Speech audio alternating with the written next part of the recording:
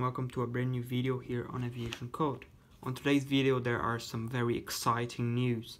Qantas orders more Dreamliners. Uh, the Australian airline has decided to order six additional 787-9s uh, in order to continue its uh, international expansion.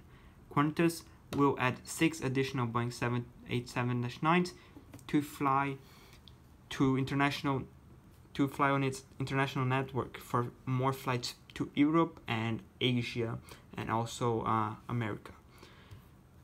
Qantas will have a fleet of 14 Dreamliners by the end of 2020 and Qantas has a total of 26 Dreamliners on order and Qantas already uh, operates four Dreamliners. The arrival of the new aircraft will enable, enable Qantas to accelerate the retirement of their Boeing 747s, which are more um, non-fuel efficient aircraft. Qantas will use um, this new Boeing 787 Dreamliners to um, possibly open routes such as Perth to London or even uh, London to Sydney, which uh, might be coming soon, as the CEO of uh, Qantas said. Also, the CEO of Qantas has said that the 787 has better economics and a longer range, and it has already opened up new routes like Perth to London.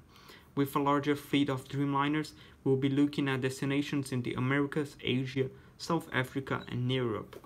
Uh, these are very exciting news from Qantas, and I hope that Qantas can order more Dreamliners and they can and they can be able to operate their Dreamliners in a profitable way to make sure that they are adding more routes. And the Perth to London route seems to be a success, and I hope that Qantas continues to do uh, more similar routes in the near future.